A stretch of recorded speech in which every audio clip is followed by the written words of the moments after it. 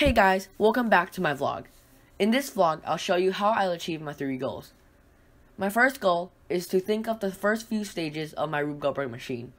My second goal is to think of the final few stages of my Rube Goldberg machine. My last goal is to build my final stage and try it out. In this short time lapse, you'll see me build my final few stages of my Rube Goldberg machine. I will further explain later. So now I'll explain the final stages of my Rube Goldberg machine. Before I start explaining, I will I have made some changes to the bottom of my cup. Uh, instead of using scissors, I've changed it to needles. Because it has a smaller area, surface area, therefore can cause damage easier. So, as you can see, I have built a simple pulley system here.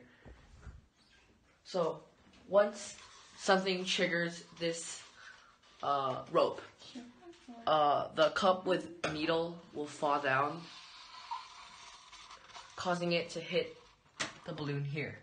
When it hits the balloon, hopefully, water will come out. And because of the markings I've made before on the box, water will come down and wake me up here. Now, on to my next goal. After doing further research on Rube Goldberg machines, I decided to take this idea, using the vibration from the phone when someone's calling to cause dominoes to fall down, leading to the next stage of my machine. Yeah. For next week's target, I want to give at least five ideas for my Rube Goldberg machine, build at least one of the final ideas, and then include a theme. Thank you for watching.